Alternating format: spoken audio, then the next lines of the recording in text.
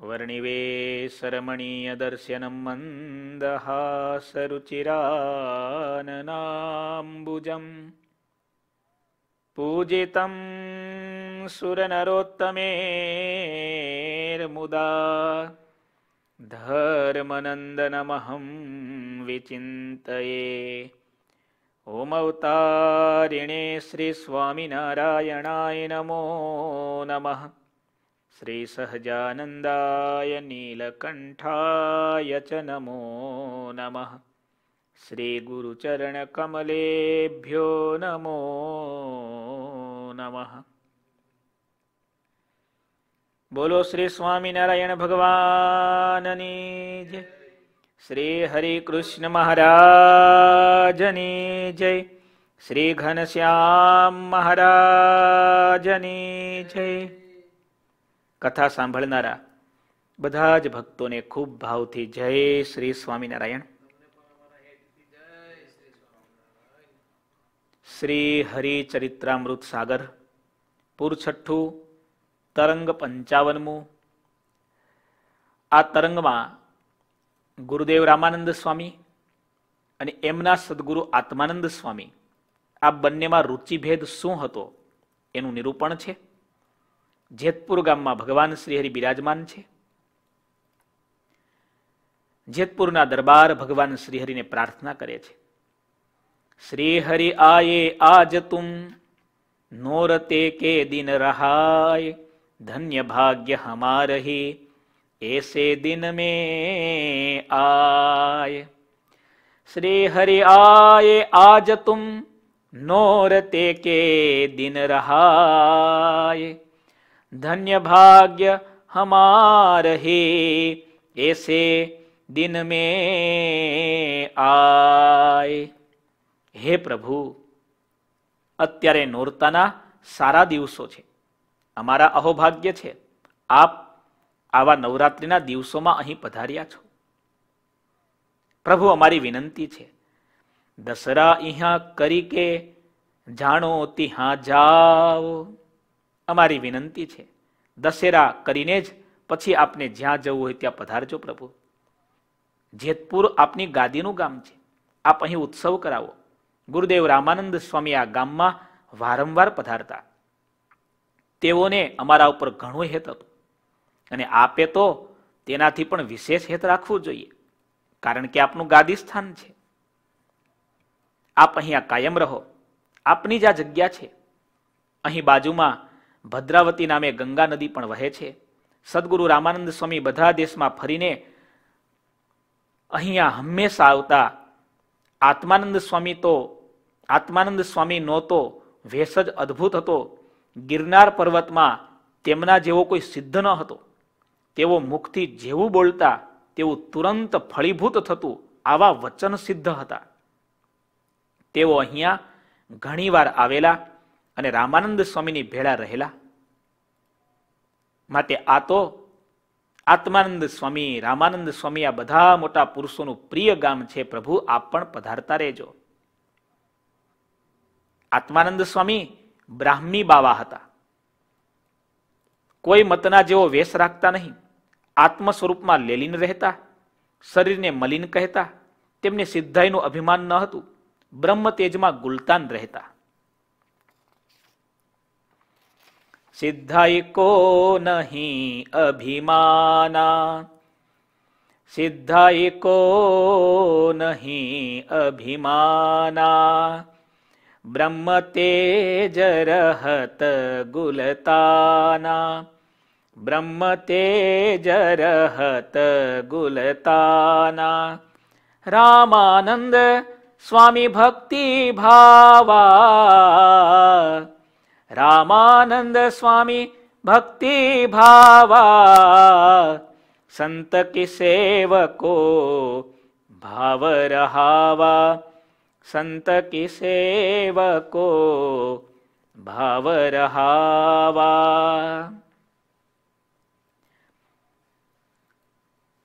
આત્માનંદ સ્વામી મહાસિદ્ધ હોવા છતાં સિદ્ધાઈનું રંચ માત્ર અભિમાન ન હતું બ્રહ્મતેજમાં ગુલતાન રહેતા. અને રામાનંદ સ્વામી કેવા હતા? સ્વભાવથી ભક્તિ ભાવવાળા હતા. સંતોની સેવા કરવી તેમાં તેમને અત્યંત ભાવ હતો. રામાનંદ સ્વામી ભક્તિ ભાવા જેતપુરના રાજા ભગવાન શ્રીહરિને આત્માનંદ સ્વામી કેવા હતા અને રામાનંદ સ્વામી કેવા હતા? આ વાત કરીને એક પ્રશ્ન પૂછે છે. ઘણો સમજવા જેવો આ પ્રશ્ન ઊંચી વાત છે, પણ સમજવા જેવી ને કામ લાગે એવી વાત છે. મહારાજ, મેં આવું જોયું.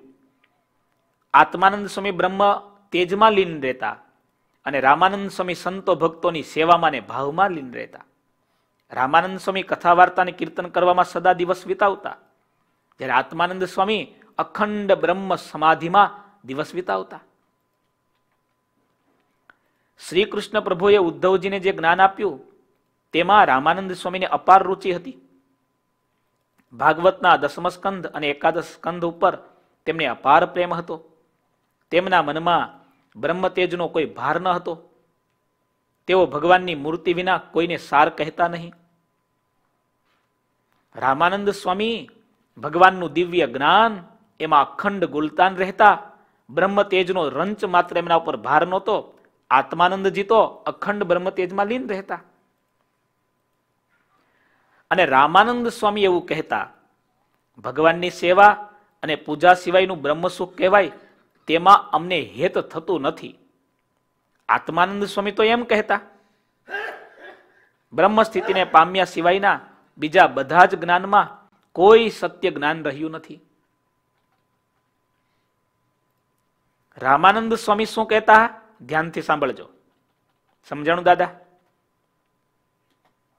રામાનંદ સ્વામી એવું કહેતા, ભગવાનની સેવા અને પૂજા સિવાયનું જે કંઈ બ્રહ્મસુખ કહેવાય છે, એમાં અમને રંચ માત્ર હેત થતું નથી.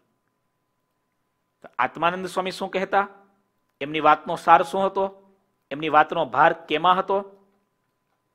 બ્રહ્મ સ્થિતિને પામ્યા સિવાયના બધા જ જ્ઞાનમાં કોઈ જ્ઞાન સત્ય નથી. આ રીતે એક આત્માનંદ સ્વામી સુખદેવજીના મત ઉપર વર્તતા હતા. ત્યારે બીજા રામાનંદ સ્વામી ઉદ્ધવજીને જે એકાદશ સ્કંદમાં જ્ઞાન કહ્યું છે તેના ઉપર તેમને તાન હતું. ઉદ્ધવજી અને સુખદેવજી એ બેમાં કોની સમજણ ઊંચી છે? મહારાજ મને સંદેહ રહ્યા કરે છે, આપ સમાધાન આપો. જેતપુરના દરબાર કેવા સમજો હશે એ આ પ્રશ્ન ઉપરથી આપણે સમજી શકીએ છીએ. અતિ સૂક્ષ્મ અને સમજવા જેવો પ્રશ્ન પૂછ્યો. સુખદેવજી મહારાજ અને ઉદ્ધવજી મહારાજ, એમની સ્થિતિની વાત છે. આત્માનંદ સ્વામી અને રામાનંદ સ્વામી એમની સ્થિતિની વાત છે. ઘણીવાર સામાન્ય બુદ્ધિના માણસો આ મહાપુરુષોના મત અને સિદ્ધાંતને જાણી પણ નથી શકતા.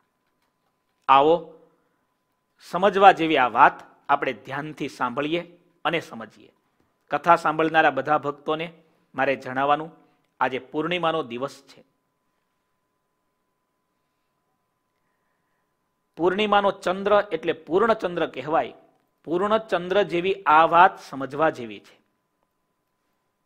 આપણે થોડી વાંચીએ અને પછી સમજીએ. ગહન વાત છે, એટલે થોડા સાવધાન થઈને સાંભળશો તો સમજાશે, બાકી જતી રહેશે.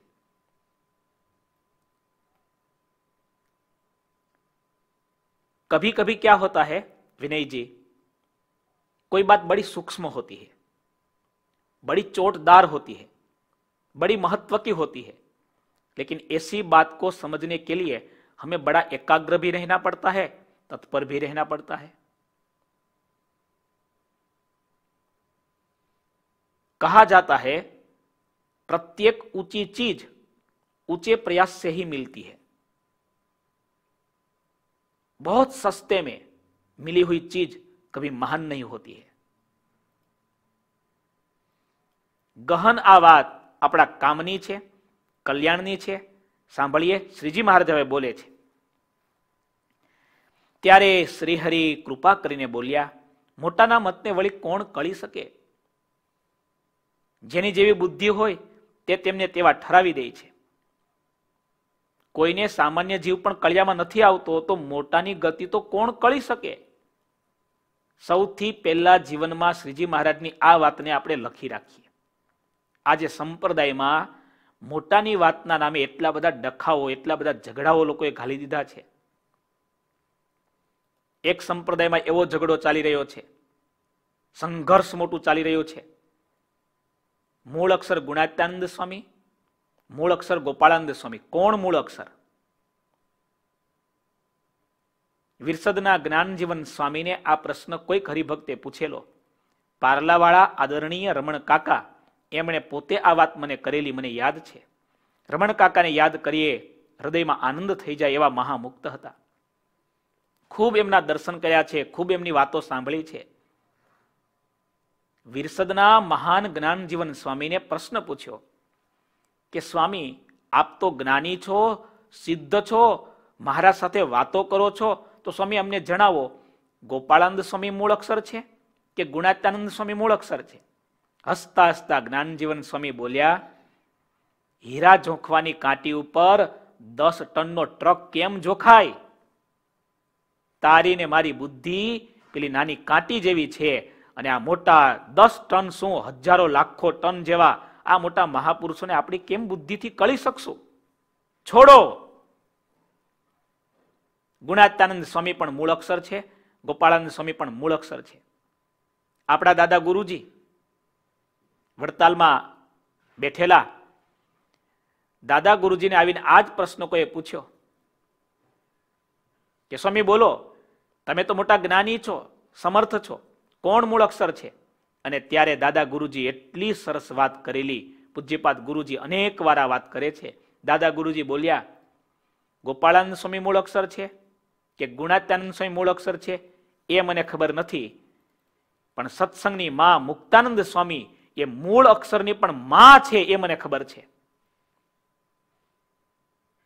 મુક્તાનંદ સ્વામી આ મૂળ અક્ષરની માં છે એ મને ખબર છે. સંપ્રદાયના બધા શાસ્ત્રો એમાં પુરાવા રૂપ છે. કેવી સરસ વાત.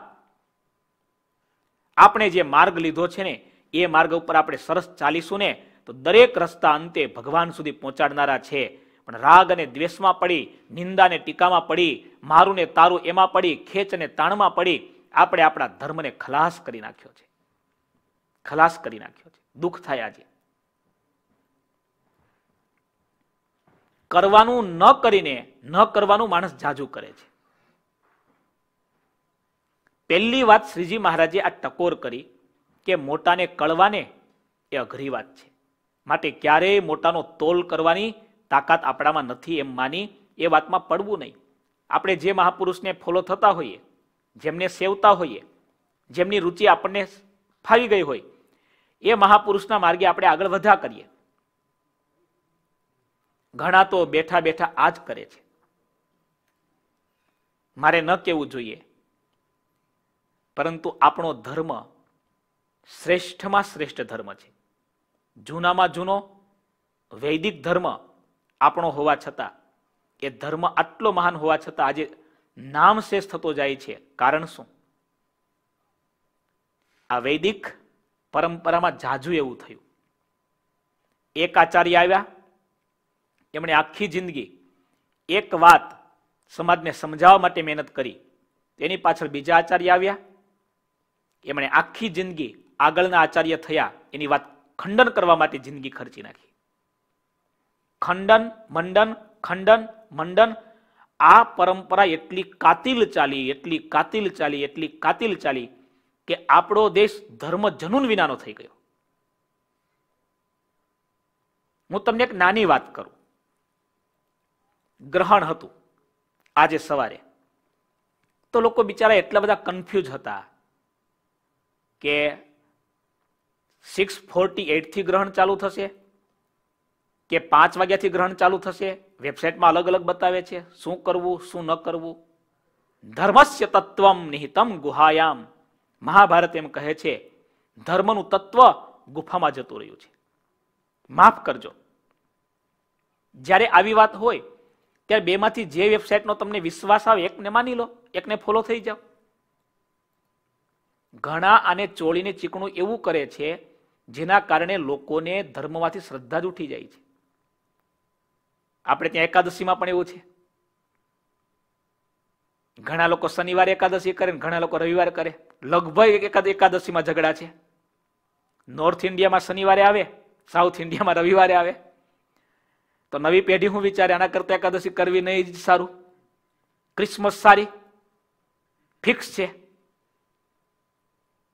તમે વિચારો, આપણો ધર્મ સાચો કેવી રીતે? ભગવાન રામ સાચા. આજે આખી દુનિયા જાણે છે, નાસાએ આકાશના યંત્ર દ્વારા લીધેલા ફોટોગ્રાફ દ્વારા ભગવાન રામનો બાંધેલો પુલ.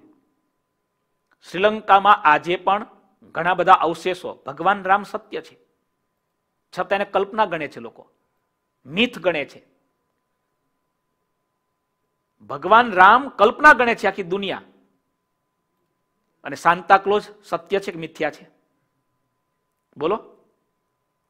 Is there any surety about Santa Claus ચાલો, હોલ, હોલોવિન, ભૂત. બરાબર? હોલોવિન ને ભૂત ને આ બધું સત્ય છે. આપણને દુઃખ થાય. અમે હોલોવિનમાં ટેક્સાસ જતા હતા, ત્યાંથી આવતા હતા. એક એક એરપોર્ટ પર ચારે બાજુ ભૂતડા લગાવેલા, એરપોર્ટો પર. દરેક એરપોર્ટના કાઉન્ટર ભૂતડા તમે પણ જોયા છે હવે એરપોર્ટના કાઉન્ટર ઉપર ભૂત મૂકે કોઈને પ્રોબ્લેમ જ નથી. પણ ત્યાં જો રામ કે કૃષ્ણની મૂર્તિ મૂકી હોય તો શું થાય? કેટલા ઝઘડા થાય? એનો મતલબ કે દુનિયાને ભૂત મૂકે તો કોઈને વાંધો નથી. પણ જો રામની મૂર્તિ મૂકી તો કૃષ્ણવાળાને વાંધો, કૃષ્ણની મૂર્તિ મૂકી તો રામવાળાને વાંધો, ક્રાઇસ્ટની મૂકી તો હિન્દુઓને વાંધો. સારી વાતને આપણે નથી સ્વીકારી શકતા. આ માણસના મનની મોટામાં મોટી નબળાઈ છે. કોઈ પણનું સારું. આપણા વેદો તો કેવી વિશાળ ભાવના વાળા છે. આનો ભદ્રાહ ક્રતવો જંતુ વિશ્વત ચારે દિશાઓમાંથી અમને સારા વિચારો પ્રાપ્ત થાવો આપણા વેદો કેટલી વિશાળતા વાળા છે. અને એ વેદોના વારસદાર આપણે કેટલા સંકુચિત નેરો માઇન્ડેડ બની ગયા. કોઈનું સારું સાંભળી ન શકીએ, કોઈનું સારું જોઈ ન શકીએ, કોઈનું સારું બોલી ન શકીએ. અરે માફ કરજો ગુણાતીતાનંદ સ્વામીને માનનારા કેટલા હરિભક્તો મુક્તાનંદ સ્વામીને ગોપાળાનંદ જાહેરમાં દ્રોહ કરે છે, આવું બોલે છે, ત્યારે દુઃખ થાય કે આજે જો ગુણાત્યાનંદ સ્વામી પ્રગટ થાય ને, તો સૌથી પહેલા દંડ તમને દેશે. તમે સ્વામીનો સમાગમ નથી કરતા, સ્વામીનો મહિમા નથી ગાતા, તમારો રોટલો શેકો છો. મહિમાની વાત જ નથી આમાં. આવી રીતે મહિમા ન ગાવાનો હોય, બીજાનો ખંડન કરીને. મુક્તાનંદ સ્વામીને નીચા દેખાડી. મુક્તાનંદ સ્વામીને કસરવાળા દેખાડી, ગોપાળાનંદ સ્વામીને હાવ નીચા દેખાડી. અને તમે ગુણાત્યાનંદ સ્વામીનો મહિમા ગાઓ છો, એમને મૂળ અક્ષર સાબિત કરો છો. હું એટલા માટે કહું છું કે આખો ધર્મ આપણો આ રીતે ખલાસ થયો છે. આપણે ભગવાન સ્વામિનારાયણના સર્વોપરી પુરુષોત્તમ નારાયણના આશ્રિતો છીએ. છૂટીએ આ બધામાંથી, નીકળીએ આ બધામાંથી. ગુણાત્યાનંદ સ્વામી પણ મૂળ અક્ષર છે, ગોપાળાનંદ સ્વામી પણ મૂળ અક્ષર છે. આ બધા મુક્તો મહાન છે. તમારી મારી દ્રષ્ટિ તો બહુ ટૂંકી છે. આ એક એક ગરુડ છે, એની પાંખમાં બેસી જશું. તો પ્રયત્ન વિના અક્ષરધામ સુધી પહોંચી જશું. અને આપણે જો ઉંદરડાની જેમ એની પાંખ કાપવાનો જ પ્રયત્ન કરીશું, તો એકેય જહાજ આપણને અક્ષરધામ સુધી નહીં પહોંચાડે. કહેવાનું નબળું બધા સ્વીકારે છે. હોલોવિન ઉપર, એરપોર્ટના એક એક કાઉન્ટર પર ભૂત મૂકી દીધા છે. કોઈને ઓપોજ નથી, કોઈને વાંધો નથી. પણ હમણાં ભગવાનની મૂર્તિ મૂકી હોય તો. તમે નાની વાર્તા સાંભળી હશે. નાનકડું ગામ.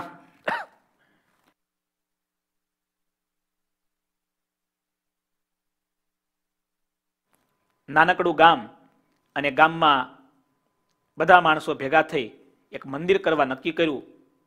થોડું થોડું થોડું દાન આપી મંદિર તૈયાર કર્યું. મંદિર તૈયાર થયા પછી ઝઘડો શરૂ થયો. મંદિરમાં કઈ મૂર્તિ પધરાવી? નક્કી થયું, ભગવાન રામ જેવો આદર્શ પાત્ર કોણ હોઈ શકે? પુરુષનું જીવન રામ જેવું બને, સ્ત્રીનું જીવન સતી સીતા જેવું બને, ભાઈ હોય તો લક્ષ્મણ જેવો હોય. આ હા હા જીવન જીવવા માટે આવું ઉત્તમ પાત્ર કોણ? ભગવાન રામચંદ્રજીની મૂર્તિ પધરાવીએ. બીજે જ દિવસે ઝઘડો ચાલુ. ભગવાન શ્રી કૃષ્ણના ઉપાસકો કહેવા લાગ્યા, અમે પૈસા આપ્યા છે. અમારા ભગવાન કેમ નહીં? તો કે, સારું, એ પધાવ એની વચ્ચે અમારા, તમારા પાછું બાજુમાં. આ ઝઘડો પાછો ચાલુ. ગામના ડાયા માણસોએ કહ્યું કે આપણે ભગવાન રામને પણ રહેવા દો, ભગવાન કૃષ્ણ પણ રહેવા દો. ભોળાનાથ, સદાશિવ શંભુ બધાના ભગવાન છે. રામ ઉપાસી પણ માને, કૃષ્ણ ઉપાસી પણ માને. આપણે શિવલિંગ પધરાવી દો, કોઈ મૂર્તિ જ નહીં લો. ત્રીજો ઝઘડો શરૂ થયો. મંદિર માણ માણ બન્યું હતું પાંચ વર્ષ પડ્યું રહ્યું, એકે નિર્ણય ન થયો. છેવટે ગામના યુવાનિયાએ નિર્ણય કર્યો કે આટલો બધો ખર્ચો કર્યો, મંદિર બનાવ્યું, કામ નથી લાગતું, એક હોટલ બનાવી દો. આખા ગામના માણસોએ સહર્ષ સ્વીકારી લીધું. બોલો. તમે જોઈ શકો છો ને. સારી વસ્તુમાં માણસો એક નથી થતા. અને ખરાબ વસ્તુમાં આખી દુનિયા એક થઈ જાય છે. શ્રેષ્ઠ વસ્તુ કોઈ સ્વીકારી નથી શકતા. નબળી વસ્તુને માણસ તરત સ્વીકારે છે. કળયુગના માણસની મોટામાં મોટી આ નબળાઈ છે. એને ઓળખીએ. ધર્મમાં કે ભૌતિક જગતમાં બધી જગ્યાએ આ જ પરિસ્થિતિ છે માટે તમે અને હું સાવધાન થઈએ. ઉઠ જાગ મુસાફિર ભોર ભયો.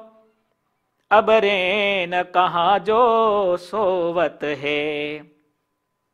મહારાજે પહેલી વાત કરી.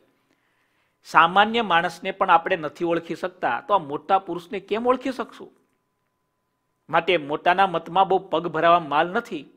હા, એમાંથી જે સાર રૂપ હોય એને આપણે સ્વીકારી લઈએ. પણ રાજાએ પ્રશ્ન પૂછ્યો છે એટલે જવાબ આપવો શ્રીજી મહારાજનો ધર્મ છે એટલે હવે મહારાજ વાત કરે છે. સાંભળો રાજન, બે યોગ છે. એક રાજયોગ, બીજો હઠયોગ. એમ આપણા શાસ્ત્રમાં કહ્યું છે. બંનેનું મતનું જ્ઞાન સાંભળ્યા પછી જોગીને જેવું તાન હોય તેવું સ્વીકારે છે. બંને માર્ગ રુચિણામ વે ચિત્ર્યાત રુજુકુટિલ નાના પથજુસામ. નૃણામ એકો ગમ્યસ તમસી પયસા મર નવ ઇવ નદી જુદી જુદી દિશાઓમાંથી જુદા જુદા પ્રવાહ આવતા હોય પણ અંતે દરેકનો પ્રવાહ સાગરમાં જ સમાપ્ત થાય છે। એવી રીતે આ જુદા જુદા તમામ માર્ગો અંતે એક પરમાત્માને જોડનારા છે। આ બે માર્ગ છે। તમને એમ થાય કેવા માર્ગ હશે? સિદ્ધ દશા પ્રાપ્ત કરવાનું બળવાન સાધન હઠયોગ છે। સિદ્ધ થયા થયા પછી તેને કોઈ પણ પ્રકારનું આવરણ રહેતું નથી. તેમજ તેને કોઈ પણ જાતનું અજ્ઞાન રહેતું નથી. હાડકા અને ચામડીવાળો આ દેહ સિદ્ધ ગતિને પામે છે. ચાહે શરીરને રાખે કે ન રાખે, પણ સિદ્ધને કોઈ જાતનો બાધ રહેતો નથી. છ ચક્રોના બધા સ્થાન મનુષ્યના દેહમાં અલગ અલગ રહ્યા છે. સિદ્ધ સિવાય બીજો કોઈ તેને જાણી શકતો નથી. જેમ પિંડમાં સ્થાન છે, તેમ બ્રહ્માંડમાં પણ છે. હઠયોગીના દેહાભિમાનનો નાશ કરવાને માટે આ ષટ ચક્રનો માર્ગ છે.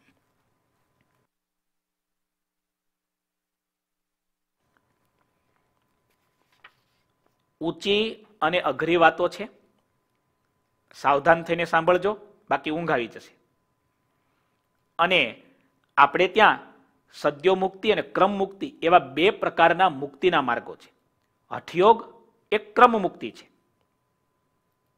એક પછી એક અષ્ટાંગ યોગના અંગ સિદ્ધ થતા જાય અને અંતે સમાધિ સુધી પહોંચે અને સમાધિમાં પોતાના ચામડીના હાડ હાડકાને માંસથી ભરેલા દેહને સિદ્ધ બનાવી દે. સિદ્ધ દશાને પામી જાય છતે દેહે. એવો જે યોગી છે, એ હઠયોગી છે. જ્યાં સુધી બ્રહ્માંડ રહે, ત્યાં સુધી હઠયોગી રહે છે. જ્યારે બધા જ બ્રહ્માંડનો વિનાશ થાય, ત્યારે હઠયોગી બ્રહ્મમાં નિવાસ કરે છે. અને જ્યારે ભગવાનની મૂર્તિમાં રુચિ થાય, ત્યારે તે હઠયોગી સાક્ષાત ભગવાનના પદને પામે છે. આ વાત થઈ કોની? હઠયોગીની. આજે પણ આવા હઠયોગી સિદ્ધો હોય છે. દેવરાહા બાબા હમણાં જ એક થયેલા મહાપુરુષ, જેમના અતિ કૃપાપાત્ર, મહાન વિદ્વાન આચાર્ય શિવપ્રસાદ દ્વિવેદીજી પાસે અમે સંતો ખૂબ વર્ષો સુધી ભણ્યા છીએ. દેવરાહ બાબા વિશે ઓનલાઈન વીડિયો પણ છે. કોઈ માનતા બસો વર્ષ, કોઈ માનતા પાંચસો વર્ષ, કોઈ માનતા સાતસો વર્ષ. મહાસિદ્ધ હતા. ઘણી બધી એમણે સિદ્ધિઓ પ્રાપ્ત કરેલી. સ્વામી શિવાનંદજીએ ઓટોગ્રાફી ઓફ યોગી નામનું પુસ્તક એક સમયમાં અમેરિકામાં વધારે વધારે પોપ્યુલર બનેલું એ પુસ્તક ઓટોગ્રાફી ઓફ યોગી એમાં એમણે લહેરી બાબા, બીજા બધા સારા એ સમયના સિદ્ધો જેમને પોતે મળ્યા હતા, એમની સિદ્ધિ અનુભવી હતી, એમની સિદ્ધિ જોઈ હતી, કેવા નિરાવરણ સ્થિતિવાળા હતા એ બધા અનુભવો એમણે લખ્યા છે. અમેરિકાના માણસોએ જ્યારે એ બધા દાખલાઓ વાંચ્યા સાંભળ્યા, આ દેશ ગાંડો થયેલો યોગની પાછળ. ઇન્ડિયન યોગ. એને આઉટ ઓફ ઇન્ડિયા સૌથી પહેલા લઈ જનારા આ શિવાનંદજી છે. વિદેશના માણસો યોગની પાછળ પાગલ બન્યા.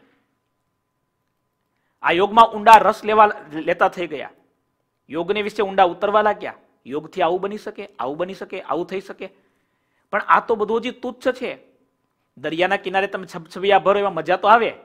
પણ હોડીમાં બેસીને તમે છેક બહામસ સુધી ફરવા જાઓ તો વધારે મજા આવે ને. એમાં તો સાગર છે, પરમાત્મા તો સાગર જેવા છે. કદાચ દરિયાનો અંત લઈ શકાય, આકાશનો છેડો માપી શકાય, પણ પરમાત્માનો છેડો ક્યારે આવતો નથી. આ હઠયોગીનો માર્ગ છે. એમાં અનેક સિદ્ધિઓ, અનેક પરચાઓ, અનેક ચમત્કારો જાત જાતનું બધું હોય. હવે બીજો માર્ગ છે.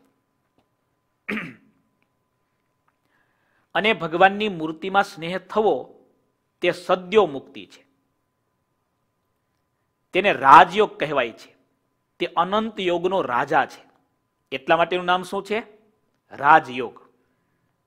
એટલે અષ્ટાંગ યોગની સાધના વગેરે દ્વારા જે સિદ્ધ થાય છે, કયો યોગ? હઠયોગ. અને ભગવાનમાં પ્રેમ સમાધિ થાય છે ને યોગ થાય છે, કયો યોગ? રાજયોગ. યોગનો અર્થ થાય પરમાત્મા સાથેનું મિલન. ભગવાન સાથેનું મિલન એના રસ્તા, એક હઠયોગ, બીજો રાજયોગ. તમારે લોયાધામ ન્યુજર્સી મંદિર આવું છે. તો તમે આ બાજુથી પણ આવી શકો, ટુ ઓ ટુ લઈને અને ટુ એટી સિક્સ લઈને પણ આવી શકો, બે બાજુથી આવી શકો. હવે કયો રસ્તો લેવો છે તમારા ઉપર ડિપેન્ડ છે. એક ગામમાં એક ડેસ્ટિનેશન સુધી પહોંચવાના બે નહીં, બાવીસ રસ્તા પણ હોઈ શકે. સમજવા જેવું આ જ છે બસ. જો સમજીને લેવામાં આવે તો દરેક રસ્તા ભગવાન સુધી પહોંચાડે છે. વિચાર્યા વિના, સમજી, સમજ્યા વગર અહંકારથી રાગ દ્વેષથી લેવામાં આવે તો કોઈ પણ માર્ગ ભગવાન સુધી પહોંચાડતો નથી. હવે મહારાજ રાજયોગનું વર્ણન કરે છે. કેટલાક રાજયોગથી સિદ્ધગતિને પામ્યા છે. અને શ્રેયરીના પ્રતાપથી હું આ સિદ્ધગતિને પામ્યો છું એમ જાણે છે. તેથી તે રાજયોગી પોતામાં કોઈ પણ પ્રકારનું અભિમાન માનતા નથી. બધો જ પ્રતાપ મૂર્તિનો છે એવું માને છે. રાજયોગી ષટચક્ર, તેનું સ્થાન, તેના આયામ, આયામો, દેવતા અને ઐશ્વર્ય, તે બધાને જોઈને પણ ક્યાંય લોભાતા જ નથી. એકમાત્ર ભગવાનની મૂર્તિમાં જ સાર છે એમ માને છે. ભગવાનની મૂર્તિ સિવાયની જેટલી સિદ્ધાઈ છે, તે માયાથી ઘેરાયેલી છે એમ સમજે છે. ભગવાનની મૂર્તિ વિનાના બ્રહ્મતેજને પણ સોનાની બેડી જેવું બંધનકારી સમજે છે. ભગવાનની મૂર્તિને લઈને જે બ્રહ્મતેજ છે તે તો આત્યંતિક કલ્યાણનું દ્વાર છે. વિચક્ષણ રાજયોગીને તે બ્રહ્મને તુલ્ય સિદ્ધ દશા પ્રાપ્ત થાય, તો પણ તેનું કારણ કેવળ પરમાત્માનો પ્રતાપ જ છે એમ જાણે છે. શ્રીજી મહારાજા બે યોગનું વર્ણન એટલે કરે છે, આત્માનંદ સ્વામી, એમણે કયો યોગ લીધેલો? હઠયોગ અને રામાનંદ સ્વામી, એમણે કયો યોગ લીધેલો? રાજયોગ. બંને મહાપુરુષ છે. બંનેના માર્ગ જુદા જુદા છે. બંનેની રીતો જુદી જુદી છે. અને તમે જે પૂછ્યું સુખદેવજી અને ઉદ્ધવજી, તો સુખદેવજીના જેવા અપાર સિદ્ધો થયા છે. નારદ મુનિ, ચાર સંકાદિકો તે પણ સિદ્ધ થયા છે. તે બધા ભગવાનના દાસ થઈને તેમની ભક્તિ કરીને મોટા મોટા સિદ્ધ થયા છે. રાજયોગી પણ એમ જ સમજે છે. એટલે સુખદેવજી મહારાજ અને ઉદ્ધવજી મહારાજ, એ બંનેનો માર્ગ કઈ જુદો જુદો નહોતો. ડેસ્ટિનેશન એક હતું. રીતો જુદી હતી ખાલી. એમની પદ્ધતિ જુદી હતી. આપણે કથા કરીએ છીએ. વક્તા બેઠા હોય. શ્રોતા બેઠા બેઠા સાંભળે. આ ક્રિશ્ચિયનોમાં આપણે જોઈએ છીએ, વક્તા ઊભા ઊભા કથા કરતા હોય. જોયું છે ને?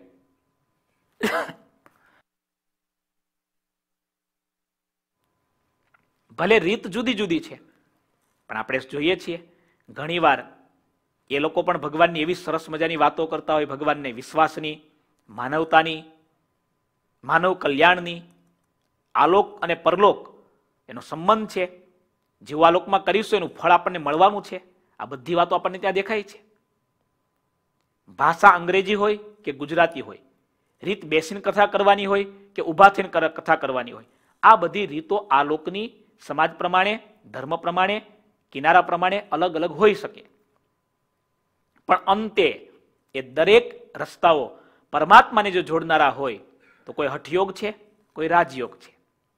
હવે શ્રીજી મહારાજ આગળ સરસ વાત કરે છે. હરિમૂર્તિ બિન અધે કહે જો જો જ્ઞાન કહત. હરિમૂર્તિ બિન અધે કહે જો જો જ્ઞાન કહત. અંતર કી કહે વાર્તા તો હું અસિદ્ધ વદાત અંતર કી કહે વાર્તા તો હું અસિદ્ધ વદાત જે સિદ્ધ, એ પછી રાજયોગી હોય કે હઠયોગી હોય? જે સિદ્ધ, ભગવાનની મૂર્તિ વિના બીજા જ્ઞાનને મૂર્તિથી અધિક કહે છે? જ્ઞાન એ માર્ગ છે, મંજિલ નથી. જ્ઞાન એ સાધન છે, સાધ્ય નથી. પણ જ્યારે માણસ જ્ઞાનના માર્ગે વધારે ઊંડો ઉતરે છે, ત્યારે જ્ઞાન એટલું બધું અભિમાન લાવનારું બને છે કે પછી એને જ્ઞાન સાધ્ય બની જાય છે, મૂર્તિ ગૌણ થઈ જાય છે. સિદ્ધ ભગવાનની મૂર્તિ વિના બીજા જ્ઞાનને મૂર્તિથી અધિક કહે તેવો સિદ્ધ કદાચ અંતરની વાતને કહી દે, એવો સમર્થ હોય, તો પણ સાચો સિદ્ધ તેને અસિદ્ધ જ માને છે. અર્થાત એ સાચો સિદ્ધ છે જ નહીં. ભગવાનની મૂર્તિ સિવાય બીજું જો અધિક બની ગયું, તો એ સિદ્ધ નહીં. હવે શું થઈ ગયો? અસિદ્ધ થઈ ગયો.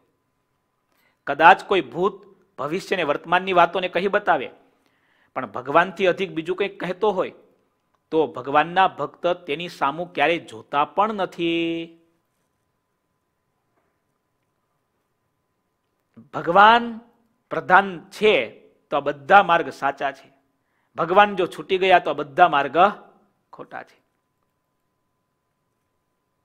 માણસની મોટામાં મોટી ભૂલ એ છે કે માણસ શરૂઆતમાં લક્ષ્યને સાથે લઈને ચાલતો હોય છે, પણ થોડો આગળ વધી જાય, સિદ્ધિ મળી જાય, પછી લક્ષ્ય ચૂકી જાય છે, લક્ષ્ય એનું બીજું થઈ જાય છે.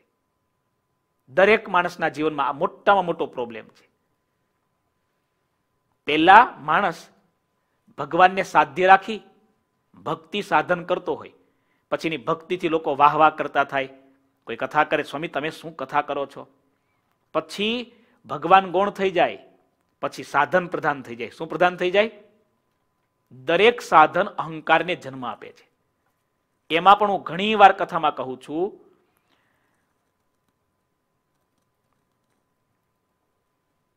દુર્ગુણોથી થતું નુકસાન દુર્ગુણોથી થતું નુકસાન એને સમાજ સમજી શકે છે. પણ સદગુણોના અભિમાનથી થતું નુકસાન એને સમાજ સમજી નથી શકતો. આ જ પ્રોબ્લેમ છે. દુર્ગુણોથી થનારા નુકસાન કરતા પણ સદગુણોના અભિમાનથી આવેલું નુકસાન અધિક નુકસાન કરનારું બન્યું છે આ સમાજમાં. મને સારી કથા કરતા આવડી ગઈ. પાંચ પચીસ વાહ વાહ કરતા થઈ ગયા. પછી મહારાજ, ગુરુજી જેવા મોટા પુરુષો, એનો ભાર જતો રહે. આઈ એમ સમથિંગ પેલા એવું થાય, પછી ધીરે ધીરે આઈ એમ એવરીથિંગ આવું થવા મળે. આ જે અહંકાર છે ને, સમાજને ખલાસ કરી નાખે છે. દરેક સમાજની અંદર આવા તત્વો પડ્યા છે. અરે, દરેક સમાજમાં નહીં, દરેક વ્યક્તિની અંદર, દરેક માણસની અંદર અહંકાર સૌથી કાતિલમાં કાતિલ તત્વ છે. ગોપાળાનંદ સ્વામી તો વાતોમાં એમ કહે છે, દેહાભિમાન કારણ શરીરમાં પડ્યું છે. કારણ શરીરમાં એટલું ઊંડું પડ્યું છે. કેમ ઓળખી શકશું? કેમ એને કાઢી શકશું? એટલા માટે જીવનમાં એક ગાંઠ વાળી લઈએ. આજે એક સૂત્ર નક્કી કરી લઈએ. આ મહારાજ અને મહારાજને મેળવી આપે એવા મોટા પુરુષો એનાથી શ્રેષ્ઠ આ દુનિયામાં કશું જ નથી. એટલા માટે તો આપણા શાસ્ત્રો કહે છે, મહાભારતે નિર્ણય આપો મહાજનો એન ગત સપંથા. કાલે ઘણા બધા ભક્તોના ફોન આવ્યા સ્વામી વેબસાઇટમાં તો આવું બતાવે છે, એક લિંક પર આવું બતાવે છે, એક લિંક પર આવું બતાવે છે, ચંદ્રગ્રહણ ક્યારે માનવું, ક્યારે કરવું? બેમાંથી એક મતને સાચો તમારી રીતે માની લો. અથવા તો અમે કહીએ એમ માની લો. અથવા તો બધું સમજી ગયા ને તમે? પેલા ભાઈ ગોળ લેવા ગયા દુકાને. તે કે જરાક ગોળ બતાવો ને. તો આપણે ગોળ આપ્યો હાથમાં. તો ઘડીક આ હાથમાં લે, આમ આમ કરે, હાથમાં લે, આમ આમ કરે, હાથમાં લે, આમ આમ કરે. પછી કે ગોળ સારો છે, સુગંધ સારી છે, પણ ગોળ ચીકણો બહુ છે. ત્યારે પેલા ભાઈ ધીરે કહ્યું કે ગોળ તો ચીકણો છે નહીં, પણ તમે ચોળીને ચીકણો કરી દીધો. એમ ઘણીવાર આ શાસ્ત્રોની વાતો, આ વેબસાઇટની વાતો, લેખકો, ચિંતકોની વાતો દરેકની વાત સમજવા જેવી છે. બહુ ઊંડા ઉતરો ને તમે ત્યારે એમાંથી કંઈક તથ્ય હાથમાં આવે છે. જે બંને વેબસાઇટમાં હતું ને મેં તપાસ કરી. એમાં અમુક વેબસાઇટ તમને આખા ઝોનનો ટાઈમ બતાવતો હતો. Eastern zone, eastern standard time. તો એ પ્રમાણે પાંચ વાગ્યા પણ બરાબર હતા. પણ તમે સ્પેસિફિક લોકેશન, સ્પેસિફિક ગામ નાખો છો, સ્પેસિફિક ન્યુજર્સી સ્ટેટ નાખો છો, સ્પેસિફિક તમારો એરિયા નાખો છો, ત્યારે બધા ટાઈમિંગ જુદા જુદા છે. એ પણ સાચું છે. પણ આ ચોળવાની આદત જે પડી ગઈ છે ને ચોળનારા માણસો શું કરે છે? તમારી ચોળવાની રીતે કરીને તમારા ઘરમાં તમારા છોકરાઓને ધર્મમાંથી શ્રદ્ધા ઉઠી જાય છે.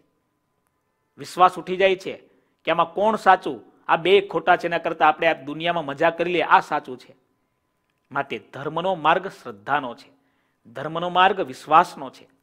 એક મહાપુરુષમાં વિશ્વાસ રાખીએ, એક શાસ્ત્રમાં વિશ્વાસ રાખીએ, તો જ આપણો પાર થશે. બાકી મહાભારત પોતે કહે છે, શું કહે છે?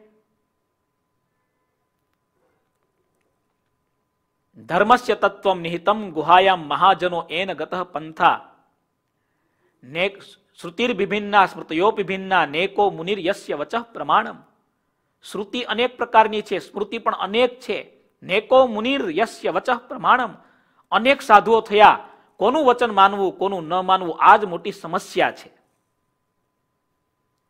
એટલે આ બહુ અદ્ભુત વાત છે ભગવાનથી અધિક કોઈ જ્ઞાન થયું, કોઈ સાધન થયું, તે બધા સાધન એ બધા જ્ઞાન મિથ્યા છે. અને મેં હમણાં પણ તમને હમણાંની વાત કરું. એવા મોટા એવા મોટા માણસો કે જેની સભામાં પાંચ લાખ માણસો ભેગા થાય. ગમે ત્યાં જાય, પાંચ લાખ, છ લાખ માણસો ભેગા થાય. પોતાની જાતને ભગવાન માનનારા અને મનાવનારા, સ્ટેજ પર એક પણ ભગવાનની મૂર્તિ નહીં રાખવાની. કેમ? રામને રાખે, તો પોતે એમના આશ્રિત કહેવાય ને. કોઈ ભગવાનની મૂર્તિ નહીં, પોતે જ રામ, પોતે જ કૃષ્ણ, આમ થઈને પૂજાનારા હમણાં ગોડમેન કહેવાતા બધા જેલમાં બેઠા છે. કારણ એનું જ્ઞાન અભિમાનાત્મક હતું. એ અભિમાનની પાસે ઘણા બધા કુકર્મો કરાવ્યા.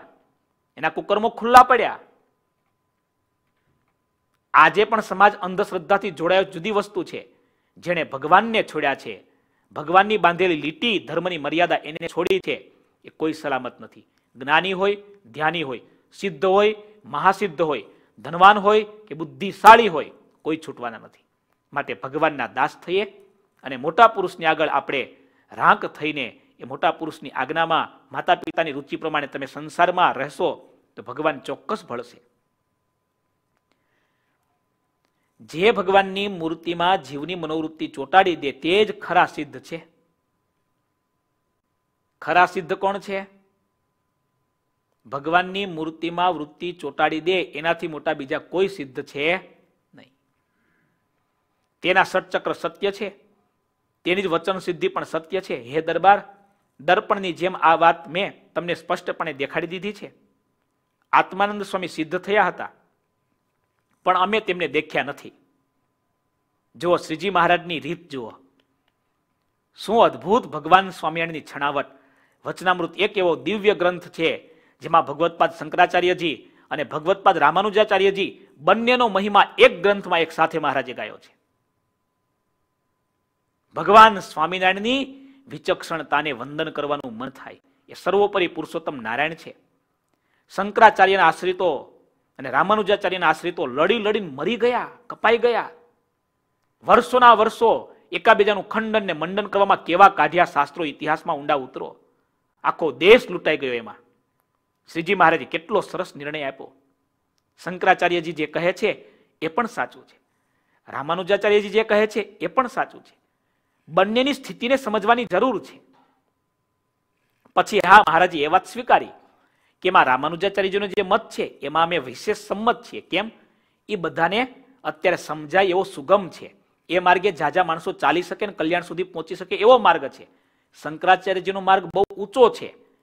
એમાં જાજા જીવ સમજી શકે એવો માર્ગ નથી. શું ભગવાન સ્વામિનારાયણ નિર્ણાયક બુદ્ધિ છે? જુઓ તો ખરા. એટલા માટે સર્વોપરી છે, એટલા માટે કળિયુગના કપરા સમયમાં પણ ભગવાન સ્વામિનારાયણનો ડંકો ચારે બાજુ વાગી રહ્યો છે. તમને પણ નાની મારી ભલામણ, નાની ભલામણ. નિંદા, ટીકા, કુથલી, કામિની આ બધાને આપણે છોડીએ, એમાંથી દૂર થઈએ. શું સારું છે, શું સાચું છે, એમાં આપણે રસ લઈએ. નબળી ને નેગેટિવ વાતો એનાથી સદંતર દૂર થઈ જઈએ તો કંઈક સત્ય મળશે. ઝાઝા ભાગનો સમય મનુષ્ય માત્રનો નબળી અને નેગેટિવ વાતોમાં જ જાય છે.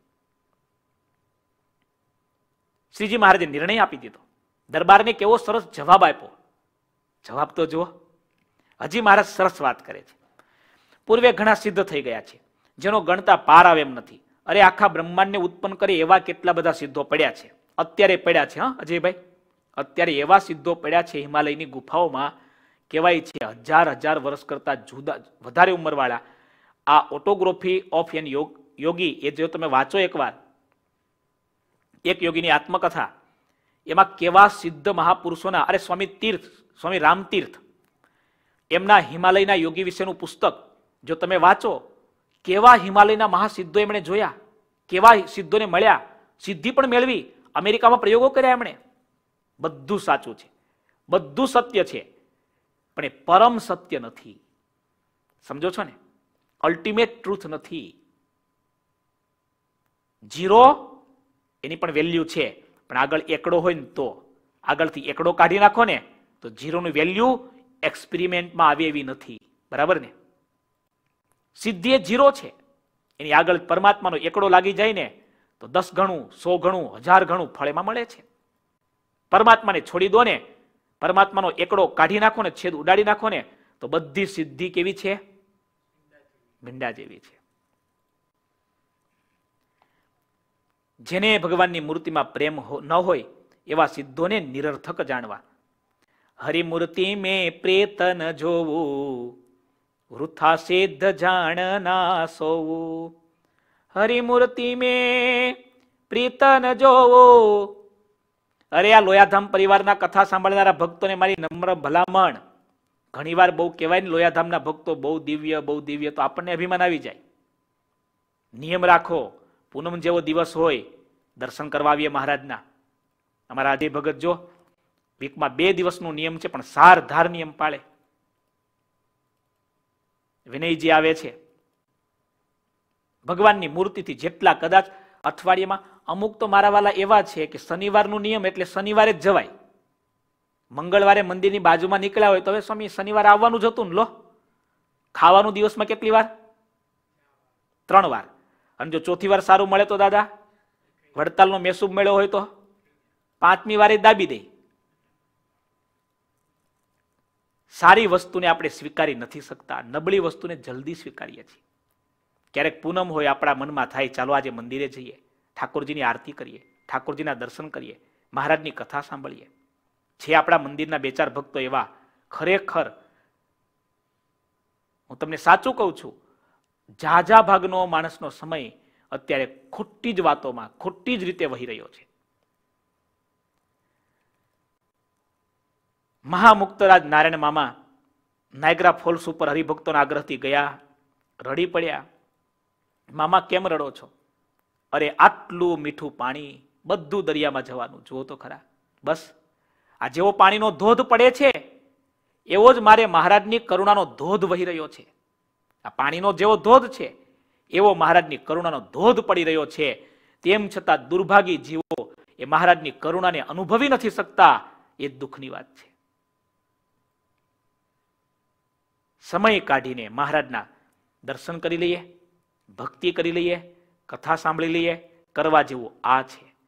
ભગવાનમાં જોડે છે એના જેવો બીજો કોઈ સિદ્ધ નથી. અને ભગવાનમાં જોડાવું એના જેવી બીજી કોઈ સિદ્ધિ નથી. સાચી વાત કે ખોટી વાત? ઓગણીસો ને એકાણુંમાં અમે સંતો બહુ મારી તો નાની ઉંમર, એકાણું એટલે કેટલા વર્ષો પહેલાની વાત. અમે એક્ઝામ આપવા માટે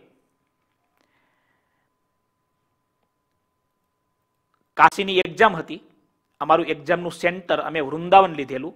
એટલે વૃંદાવન જતા હતા બાય રોડ જતા હતા. અમારા સંસ્કૃતના ભણાવનારા ખૂબ સારા વિદ્વાન આચાર્ય શ્રી રામપાલ શુક્લાજી અમારી સાથે ગાડીમાં હતા. અમે પહેલી વાર જઈએ, અમે તો બહુ નાના સંતો, બહુ નાની ઉંમર.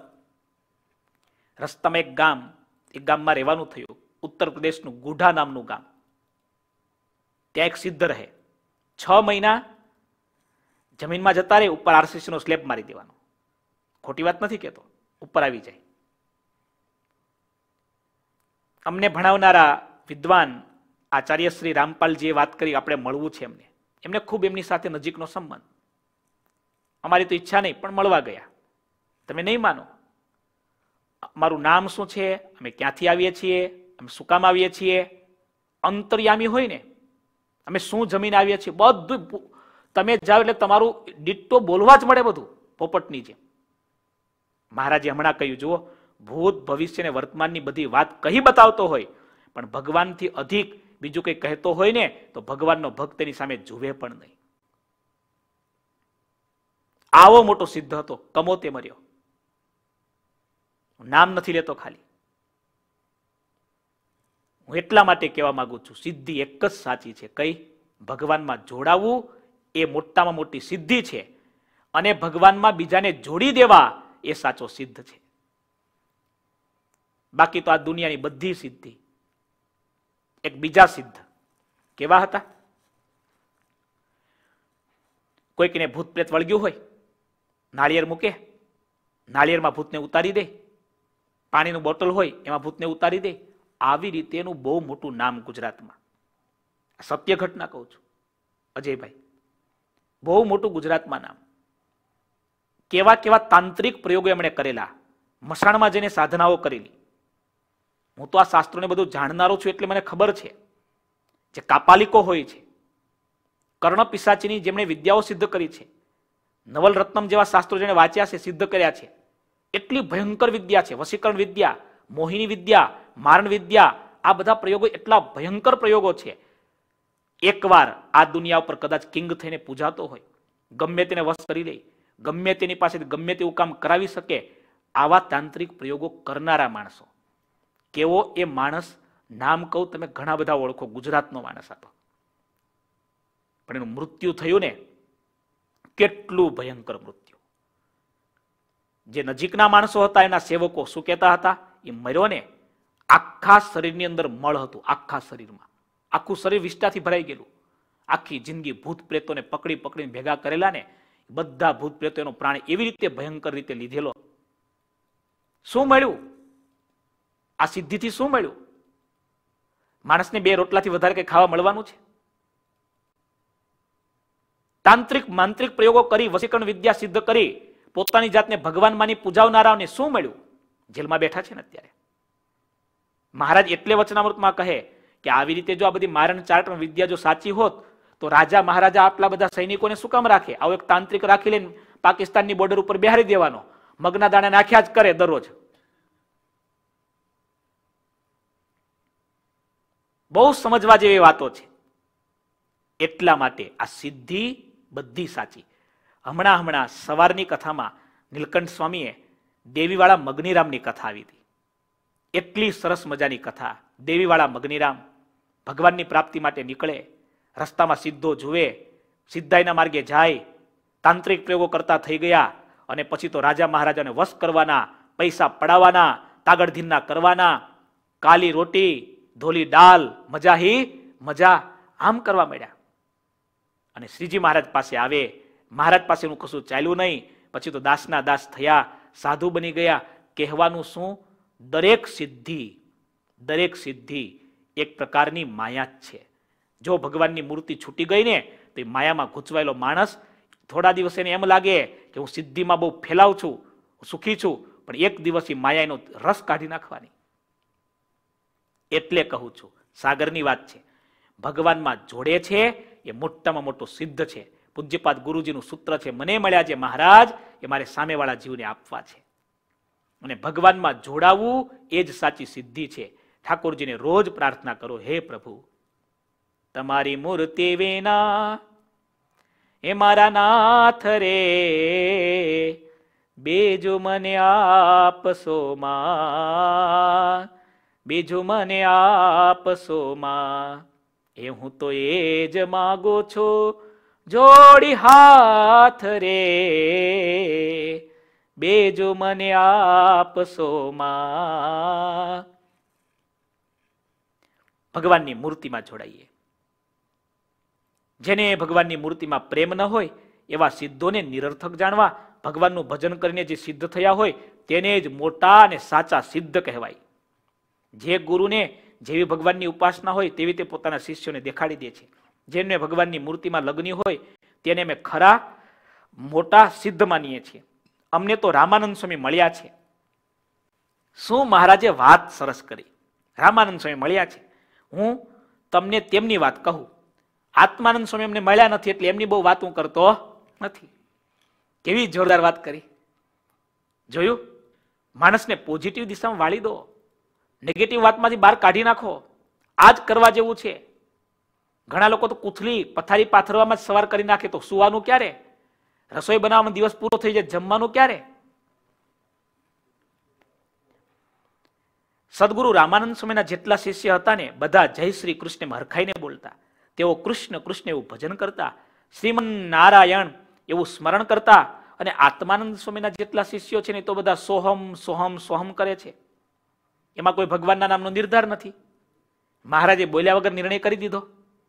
અને જુઓ, રામાનંદ સ્વામીની સાથે આત્માનંદ સ્વામી રહ્યા, તેથી છેલ્લે છેલ્લે તો આત્માનંદ સ્વામીનું પણ મન બદલાઈ ગયું અને ભગવાનની મૂર્તિમાં હેત થઈ ગયું. ભગવાનના મંત્રનું ઉચ્ચારણ કરવા લાગ્યા. પહેલા આત્માનંદ સ્વામીએ રામાનંદ સ્વામીને સટચક્રની ગતિ, સ્થાન, ક્રિયા, ધ્યાન વગેરે શીખવ્યું. રામાનંદ સ્વામી પૂર્વજન્મના મોટા યોગી હતા. તેથી જે ધ્યાન શીખવ્યું તેને ધારી લીધું. પછી રામાનંદ સ્વામીએ ધ્યાનમાં તેજનો પ્રકાશ જોયો. તેમાં લગાર મૂર્તિ દેખાણી નહીં. ત્યારે તેમણે આત્માનંદ સ્વામીને કહ્યું, મૂર્તિના વિના એકલા તેજથી મને શાંતિ વળતી નથી. ત્યારે આત્માનંદજીએ કહ્યું તમને જે તેજ દેખાયું તેમાં મને સુખ આવે છે, એમાં જ મને શાંતિ દેખાય છે. આકારમાં મને દુઃખ ઉપજે છે. સંભવે છે કે તેમાં વિકલ્પો હોય. પછી તેમણે આત્માનંદ સ્વામીને કહ્યું, તમને જે રીતે સુખ અને સંતોષ રહે તેમ તમે વિચરણ કરો. સુખ શાંતિ વિના પ્રેમ રહે નહીં. મારું અંગ જુદું છે, તમારું અંગ જુદું છે. હું જ્યારે પ્રતિલોમપણે બ્રહ્માકારે રહું છું, ત્યારે મારા અંતરમાં ઉમંગ રહે છે. અર્જુન જેવાને પણ શ્રી કૃષ્ણની મૂર્તિનું અમાપ તેજ દેખાયું ત્યારે અંતરમાં સુખ ન રહ્યું, તો તમને તો સુખ ક્યાંથી રહે? આમ આત્માનંદજીની સાથે રામાનંદ સ્વામી હતા, શિષ્ય થઈને રહ્યા, એમની પાસેથી ઘણી બધી યોગની ક્રિયાઓ શીખ્યા, પણ અંતે તેજ દેખાણું મૂર્તિ ન દેખાણી, આત્માનંદ સ્વામી નિરાકારવાદી હતા. નિરાકારવાદ જાણી, વાદી જાણી, ધર્મનિષ્ઠ હોવા છતાં ગુરુનો રામાનંદ સ્વામી ત્યાગ કર્યો. આપણા શાસ્ત્રો એમ કહે છે જે ગુરુ ભગવાનને નથી ભેટાડતા, એ ગુરુ કરવાને લાયક નથી. આત્માનંદ સ્વામી ઉદાસ થયા. ભગવાનના દિવ્ય સંકલ્પથી શ્રીરંગ ક્ષેત્રમાં ગયા. રામાનુજાચાર્યજીને રોજ યાદ કરતા હતા. દિવ્ય રૂપે રામાનુજાચાર્યજી આવી, એમને દીક્ષા આપી, ભગવાનનો મંત્ર આપ્યો, ભગવાનના દર્શન થયા. રામાનંદ સ્વામીને સંતોષ થયો. એટલા માટે રામાનંદ સ્વામીના ખરેખરા ગુરુ હતા આત્માનંદ સ્વામી. પણ એમણે ત્યાગ કરી દીધો. દિવ્ય રૂપે રામાનંદ નુજાચાર્ય જે ગુરુ થયા. એટલે આપણી આખી સંપ્રદાયની પરંપરાના આદિ આચાર્ય કોણ છે? રામાનુજાચાર્યજી. રામાનંદ સ્વામીના પણ ગુરુ એ છે. પછી છેલ્લે છેલ્લે આત્માનંદ સ્વામી. રામાનંદ સ્વામી સાથે રહેવા આવ્યા. રામાનંદ સ્વામીનું જ્ઞાન અને ધ્યાન જોઈ આત્માનંદજીને સાકાર ઉપાસના થઈ. વચનામૃતમાં શ્રીજી મહારાજ એમ કહે છે, સાંભળો, વચનામૃત પ્રથમનું ચાલીસમું. ઉપાસના તો તેને જ કહીએ. ભગવાનના સ્વરૂપને વિશે સદા સાકારપણાની દ્રઢ નિષ્ઠા હોય. અને પોતે બ્રહ્મરૂપ થાય તો પણ તે નિષ્ઠા જાય જ નહીં. ગમે તેવા શાસ્ત્ર સાંભળે કે ભણે તો પણ એ નિષ્ઠામાં ફેર ન પડે. ભગવાનને સદા સાકાર જ સમજે તો સમજવું એની ઉપાસના સાચી. ભગવાનને સર્વોપરી જાણવા, બધા ભક્તો લખી રાખવા, લખવા જેવું છે. ભગવાનને સર્વોપરી જાણવા, ભગવાનને સાકાર જાણવા ભગવાનને પ્રગટ જાણવા અને ભગવાનને કરતા જાણવા. આ ચાર વસ્તુ એનું જ નામ ઉપાસના. સંસ્કૃતના બે શબ્દ, એક ઉપનિષદ અને ઉપાસના, બંને સમજવા જેવા છે. ઉપનિષદ એટલે ભગવાનની પાસે બેસવું. ભગવાનની પાસે બેસીને, સદગુરુ પાસે બેસીને જે મેળવેલું દિવ્ય જ્ઞાન એ ઉપનિષદ છે. અને ઉપાસના એટલે ભગવાન પાસે બેસવું. ઉપ એટલે પાસે આસન. ભગવાન પાસે બેસવાની લાયકાત જે દિવ્ય જ્ઞાન દ્વારા મળે છે, એ જ્ઞાનનું નામ છે ઉપાસન, ઉપાસના. માટે આવી રીતે ઉપાસના આપણે દ્રઢ કરીએ. બોલો ઘનશ્યામ મહારાજ.